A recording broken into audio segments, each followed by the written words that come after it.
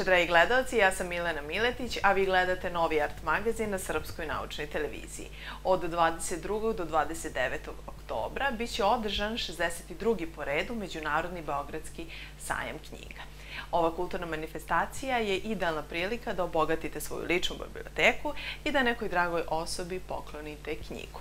I možda će upravo vaš odabir biti knjiga koju večeras predstavljamo, Profiler, izdavačka kuća Urban Art i mlada autorka Tamara Kučan. Tamara, dobroveče, dobrodošla.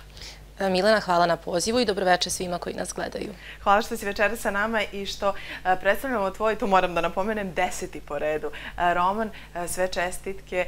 Znam da nije ni malo lako u ovom svetu izdržati i pisati i biti jedan od najboljih mladih pisaca. To slobodno mogu da kažem zato što volim da čitam tvoje romane i takve su prosto kritike ostalih čitalaca. Drago mi je što večeras predstavljamo novu knjigu, kao što sam i rekla, koja će se naći, ali tako, i na Beogradskom sajmu.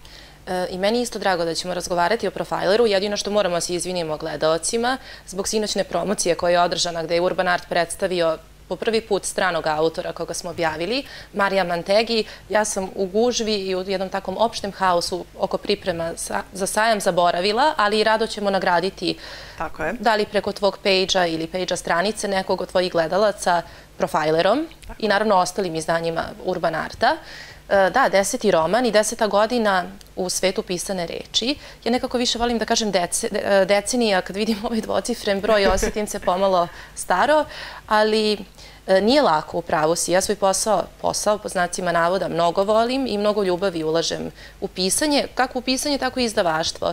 Ali je činjenica da živimo u vremenu kada svi žele da pišu i kada je mnogo pisaca, kada je mnogo izdavača i negde teško je probiti se. Ja nekako verujem da je potrebno svemu dati vreme i mislim da negde razlog zašto postojim deset godina je upravo to strpljenje i istrajnost. Tako je. Da, i tako će biti i sa ovom e, knjigom. E, kada sam se pripremila za emisiju, kada sam pročitala jedan deo koji si mi e, poslala, nekako si pisala si naravno o internetu, pisala si prosto i o ljudskim osjećanjima, to uvek voliš da provučeš. Emocija nekako je pro, prosto utkana u, svak, u svaku stranicu tvoje knjige, ali si nam donela nešto potpuno drugačije. Internet, to nam je svakodnevnica. Prosto ne možemo bez njega. I naravno da on ima i svoje i dobre i loše strane, ali ti si ovde donekle pokazali tu malo, jel tako, tamniju, mračniju stranu interneta.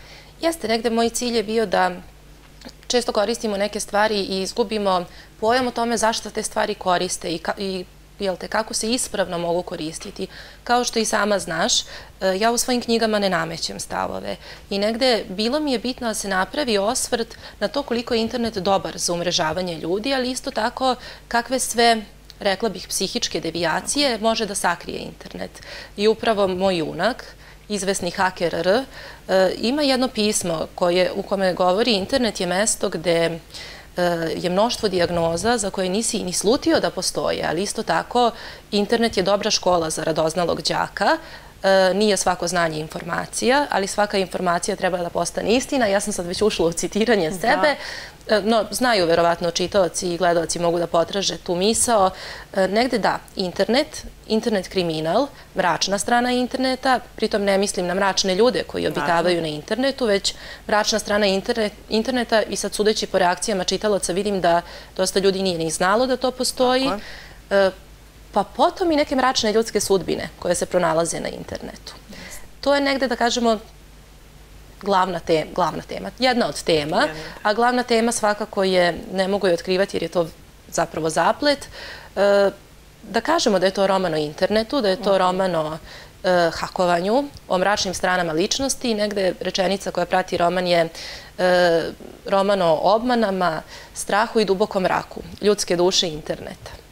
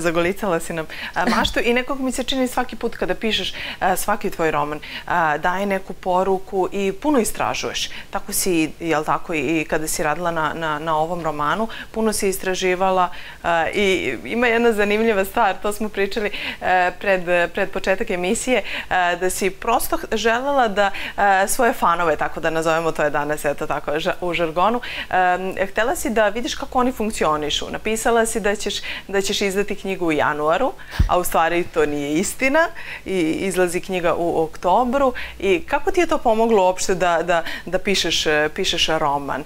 E, nekako pa, si uplela i njih, jel da? Negde svaki roman je istraživanje. Naprimjer, Indigo je roman o sektama, o manipulaciji i o žrtvama koje su stradale u sektama. Ne mislim da su nužno umrle, uh -huh. već naprosto čovek nosi neke ožiljke ceo život. To istraživanje je, na primjer, bilo poprilično teško jer je to jedna i tekako tabu tema o kojoj malo ko želi da govori. Dok ovde vi ste izbombardovani raznoraznim filmovima, e, popularna kultura i tekako promoviše hakovanje, hakere, mhm. ali ja nisam želela da baziram e, svoj roman na predrasudama. I kada izađete na ulicu i kažete ja, meni treba haker, ja želim da pričam sa nekim o hakovanju, svaki da. čovek će vam reći ja sam haker, a svaka osoba koja kaže ja sam haker nije haker. Mnogo sam istraživala. E, od časova programiranja do knjiga iz informatike, preko razgovora sa mnogo, mnogo ljudi, ali negde mene je zanimao puls mladih ljudi. Mhm. Mene uglavnom čitaju mladi i želela sam da znam koliko internet pomaže jednoj lažnoj informaciji, to jest koliko je lako ili teško kreirati na internetu laž, koliko mladi ljudi znajući da svake godine objavljujem roman, znajući da uvek završim roman na leto i da se taj roman priprema za jesen, koliko su spremni da poveruju nečemu novom samo zato što su to negde pročitali. I mogu ti reći 50-50 su bile e, reakcije. Da. Dakle, neki su 50% čitalaca je poverovalo, 50% nije. I uvek kažem, dragi ljudi, vi koji ste poverovali da stvarno objavljujem roman u januaru, vi onda čitajte Profiler dva puta i pažljivo i oprezno. Tako je, da. Ali dobro, potrebno ti je bilo da prosto znaš kako sve to živi da bi prevela u knjigu? Negde zaista ne namećem povuku i ne kažem ljudima da idite na mračni internet ili e, hakujte ili ne znam, kradite identitet. Ja nisam takav pisac, niti govorim nemojte to da radite, to je džavolji posao. Dakle, ja nisam od tih pisaca, ali negde trudim se da što objektivnije donesem priču. I puls mojih čitalaca kao mladih ljudi mi je bio od presudnog značaja ali da se razumemo, ja sam prvenstveno htjela njih da iznenadim. Jeste, tako je, da, iznenadila si sigurno. I ja bih se iskreno začutila, prosto sam navikla Tamara Kučan iz dve knjige pred sajom knjiga i tad je i promocija, kao što i sinoć bila u, jel tako, Karlo je opet organizovao, to je biblioteka, jel tako, Milutin Bojić. Biblioteka Milutin Bojić, da. Tu smo pričali o ulici Dobre sreće, autorke Marije Mantegi. Bilo je zaista predivno. Negde mi pisci koji pičemo fikciju, možemo da pričamo o našoj mašti, imaginaciji, istraživanju, ali ta knjiga predstavlja memoare. Dakle, to je biografski roman, ajte tako da, da ga klasifikujem. I negde žena je ispisala svoju priču i njenu, bo, njenu borbu sa teškom bolešću sa rakom dojke i bilo je i užasno korisno da čujemo tu priču, edukativno i dirljivo. Tako je, da, to je novi, novi roman u okviru izdavačke kuće Urban Art. E, pomenut ćemo posle i osle naslove koji nas očekuju i na sajmu knjiga. Ono što mi je zanimljivo, e, junaci iz profajlera su potpuno novi. Jeste. E, ne postoji u nekim drugim tvojim prethodnim romanima, a dešavalo se da bude, je li tako? Pa dešavalo se, ja ću iskrena da budem. Ja sam imala dilemu da li da se pojedini junaci pojave u profajleru, čak i da budu nosioci radnje, ali kada napuniš 10 godina shvatiš da moraš dalje i da taj period od dugih deset godina ostavljaš iza sebe. Tako da kada smo u Urban Artu pričali kako obeležiti tu moju deceniju, ja sam rekla ne želim nikakve žurke, ne želim proslave, ne želim promocije, želim samo da se sve lepo redizajnira, da se sve sredi i da krenemo nešto potpuno novo. E, tako da tako je pala odluka da, da se novi junaci ubace i negde mislim da publika zaslužuje nove junake. Mislim da smo, posebno oni koji od početka prate moj rad, porasli i da smo spremni za nove i hrabrije priče. Profiler je Pa meni kažu hrabro je to bilo napisati, ja ne mislim, ali je zaista bilo potrebno i mnogo truda i strpljenja za jednu takvu knjigu. To sigurno. Da, čekamo, naravno. Ali moram E, samo nešto da kažem. Profiler je, mi smo to pričali e, i ti ćeš naravno čitati i vidjet ćeš, Profiler je samo uvod u ono što sledi, to je prvi deo Tako trilogije. je, trilogija. Mhm. I moram da kažem da su u drugom delu, koji nosi naslov, naslov Vivirgata, vraća jedan od omiljenih junaka, A, moralo je Prethodnih. da, jel tako? Da. Dobro. Barem si nam vratila nešto. nešto. Nešto, Vidjet ćemo šta će ostati. Dolazi, ali vidjet ćemo kakav će čovek da. ostati. Trilogija, ista je tema, jel tako? Pa e, da, ideja je da se progovori o različitim sajber stvarima. Ovde Mhm. konkretno govorimo o tome kako demistifikujemo pojam hakovanja i krekovanja. Pričamo o tom mračnom internetu, Mhm. ali i o mračnim ljudima. Mislim, internet sam po sebi ne može biti sveto ili mračan. Ljudi su ti koji daju značenje nečemu.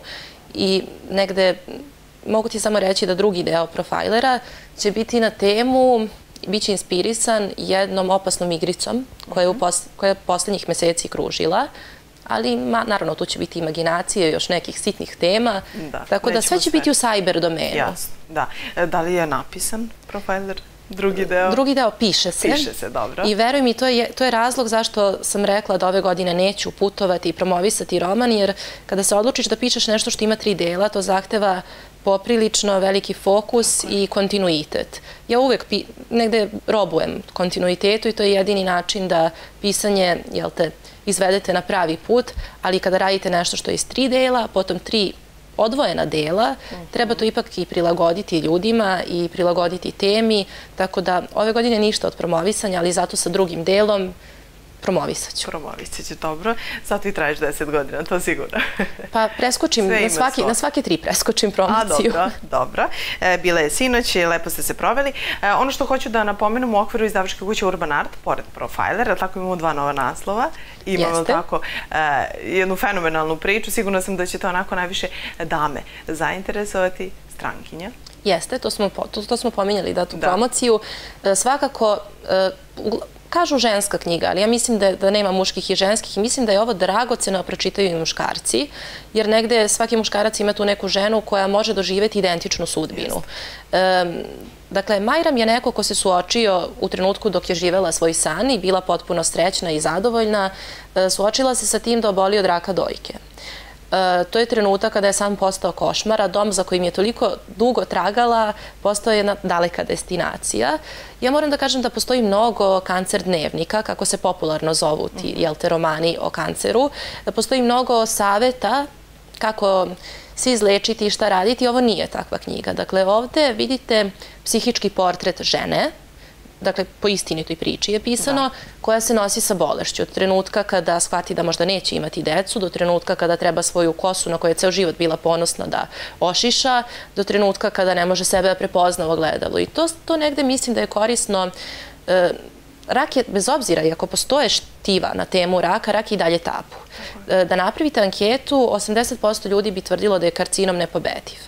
A mi ovdje imamo jednu priču koja treba da osnaži žene i da pruži, jel te, uvid u to da ipak neke stvari se mogu pobediti. Tako je, dirljiva priča, tako je. E da, imamo Ulica i surf. Imamo i surf. Tako je, naravno. Umalo da zaboravim jedno od izdanja na koje smo posebno ponosni. Dakle, Surf je izašao 2007. godine od autora Aleksandra Đuričić-Eša um, i ove godine smo ga uradili u novom dopunjenom izdanju. To je priča o mladima u Beogradu i odrastanju. E, junaci su zaista, nećete moći da ih zaboravite, to, e, ta, ta knjiga živi 10 godina. I činjenica je da ljudi se redovno vraćaju i pitaju šta se dogodilo sa Marijom Lukom. Autor je napisao šta se dogodilo 10 godina kasnije. Divno. Tako da verujemo da će surf biti zanimljiv kako mladima, tako i njihovim roditeljima. Ovo je od onih priča o tinejdžerima koju treba ipak i roditelji da Tako je, pročitaju. Da, knjiga za, za sve generacije. Pa tinejdžeri će verovatno sakriti od roditelja tu knjigu, ali mi bismo voljeli kao izdavači da ta knjiga dopre i do roditelja. Tako je, da, zanimljiva. Pogotovo uh, i ulica Dobre sreće, kao što si napomenula, jedna dirljiva priča, uh, surf za neke malo mlađe, ali kao što si rekla mogu i roditelji, naravno profiler, tvoj deseti roman po redu. Njega mogu svi, njega mogu še ko hoće. Njega može ko god uh, hoće. Tamara, hvala ti puno što si večeras bila sa nama i ono što, što hoću da napomenem, uh, uvek je za tebe vezana neka simbolika. Tako je bilo i ovog puta, desetog, desetog, u deset sati, deset minuta su, jel tako, uh, tvoji čitaoci mogli da poruče knjigu i preko interneta. Uskoro ih očekuje i u knjižarama. Na sajmu se družimo od 22. do 29. Svakog čitamo, dana. Svakog dana, tako je, i čitamo Profiler i ostale, e, jel tako, ostale izdanje izdavačke kuće Urban Art. Hvala ti puno. Hvala tebi.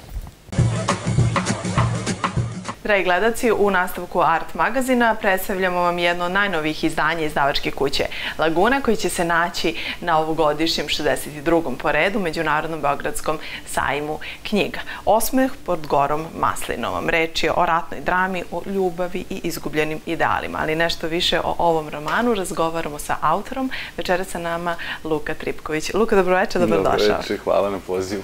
Hvala što si večera sa nama i što pričamo. Moram da napomenem, ovo je drugo izdanje. Prošle godine, je tako, izašla e, knjiga i e, bila je spremna i za prošlogodišnji sajem, ali je tu i za sajem knjiga koji će biti održan u Beogradu od 22. do 29. E, oktobra. Kao što sam rekla, ratna drama, je li tako? Jeste, to je zapravo priča o španskom građanskom ratu, um, što je za mene bilo jedno onako zanimljiv događaj koji, o kome nisam previše znao, i sve što sam znao bilo je to da kao poslednji rat vođen iz ideala, te me je to zainteresovalo da malo istražim temu. I naravno kad sam ušao u građu istorijsku, shvatio sam da je to rat kao i svaki drugi zapravo, da tu nikakvih ideala nije bilo i da je to jedno onako krvoproliće besmisleno, kao i svaki građanski rat. I zainteresovala me jedna epizoda o iseljenju kolekcije umetničkih slika iz muzeja Prado, koji je trebalo da bude bombardovan. I to je obilovalo nekim potpuno neverovatnim nadrealnim događajem za koje nisam mogu da verujem da su zapravo jel, istorijski i da nisu fikcija. Da. da sam pomislio, e pa od ovoga može se napiše dobra knjiga. Tako da, eto... Tako je nastala. Tako je nastala ratna drama, da. Dobro, glavni junak eh, Lazar, mm -hmm. tako, koji je istoričar eh, umetnosti, on u stvari piše doktorat, jel tako? Jeste. I onda odlazi, jel tako, u Španiju. I šta mm -hmm. se dešava? Eh, tu je građanski rat, ali verovatno i on vodi neke unutrašnje mm -hmm. Da, pa upravo on je, imam četiri recimo centralna lika od kojih je Lazar neko koji ih sve uh -huh. povezuje. Um, on naravno je zaveden tam psihoanalizom koja je u to vreme bila negde tek na začetku i odlazi iz Pariza gde diplomira istoriju umetnosti jer u Parizu nije bilo previše ovaj, sluha za psihoanalizu. Odlazi u Madrid da piše doktorat o Goju, njegovim kasnim radovima koji su prouzrokovani raznim mhm. psihozama koje taj umetnik imao ovaj, i time se zanima. Međutim, odlazi u Madrid par dana pre izbijanja sukoba i onda ga to jedno grotlo ovaj, hvata u, u nesnađenosti i zapravo čitav roman je o tome, on sreće ljude koji su ideološki na potpuno drugačijim stranama i koji su onako, rekao, doktrinirani do kraja, a on je neodređen I to jeste pitanje identiteta i toga da li treba da se bori za ideale, da li su oni vredni toga, da li treba za njih poginuti. Zapravo sam hteo da istražim, da razumem zašto je neko kao što je, da tu je bilo na stotine hiljada ljudi koji su iz celog sveta dolazili u, na, u, u Španiju da se bore za neke ideale. I bilo mi je zapravo zanimljivo da razumem šta nekoga natera da ode, da pogine za nešto što, o čemu ne zna puno. I na kraju da se zapitam šta bih ja radio danas da sam u toj situaciji, da li bi bio spreman da to uradim, koliko smo se mi zapravo kao ljudi promenili i šta danas ideali znače. Tako da, eto, da. mislim da sam razrešio u romanu jeste, te... Jeste, te, te, te dileme što, da. i nedoumice što mm -hmm. svako od nas sigurno ima. To, je, to su 30. godine, tako 20. Jeste. veka, potpuna razlika u svakom smislu mm. od današnjeg uh, vremena, ali je lepo što se eto i vratimo da vidimo kako su mm. i mhm. ljudi živeli tad, uh, kao što si rekao, kako ko su bili uh, ideali i prosto kako, kako da se odnosimo u tom, tom vrtlogu, mm tako, svakakvih dramatičnih e, događaja. Pomenuli smo samo Lazara. Mm -hmm. Imamo još tako još tri priče kao što si rekao. Šta se sa njima dešava, sa junacima? Da, pa oni su svi na neki način reprezenti jel, tog doba i nekih prilika u tom -hmm. dobu. Zapravo su, da, kao neki um, likovi koji zastupaju određenu vrstu um, ili ideja ili trendova, uh -huh. kako god. Dakle, imamo jednog sovjetskog generala, pošto su Sovjeti bili jedina armija koja je došla u, u pomoć republikancima, ispostavit će se iz, takođe i svojih interesa. I imamo jednu kustoskinju koja je pripadnica, jel to, kako se to kaže, LGBT populacije i feministkinja. -huh. I onda pratimo i njenu priču kako se zapravo kroz njenu borbu za afirmaciju ženskih prava i ovaj, um, kako se svet survava na nju. Da.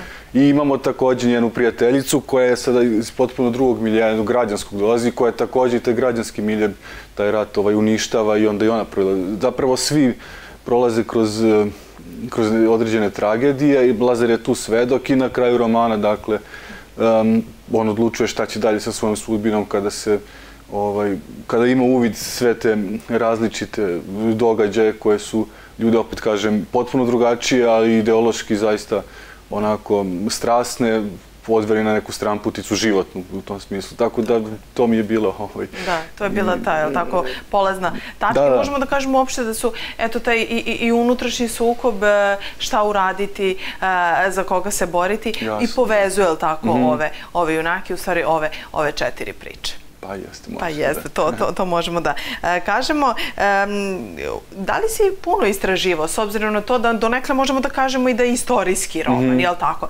E, koliko uopšte pisu potrebno da istraži? E, naravno, moramo da damo neke podatke koji su, jel tako, istiniti. Da, da. Postoji i da možemo nešto i da damo, jel tako, mm -hmm. što je naše ili fikcije ili kako god, da prosto damo na dinamičnosti.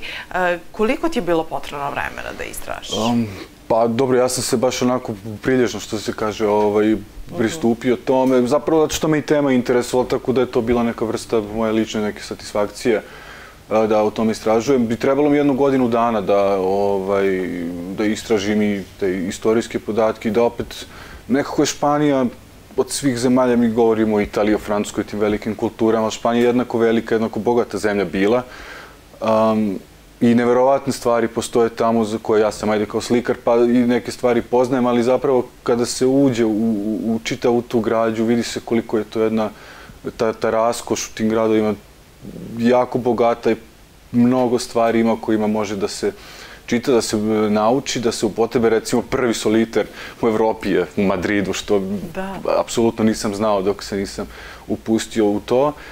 A bilo mi je opet i zanimljivo zato što ja sam to pisao u vreme on, rata u Siriji kad je bio u onom najgorem da. ovaj, razbuktavanju i to mi je bilo zanimljivo da se 80 godina kasnije dešava nešto gotovo identično. Yes.